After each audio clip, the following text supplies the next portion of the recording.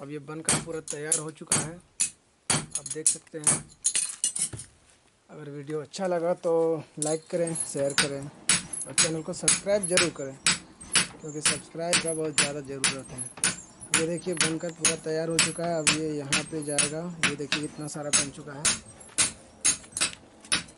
और अभी ये आ गया।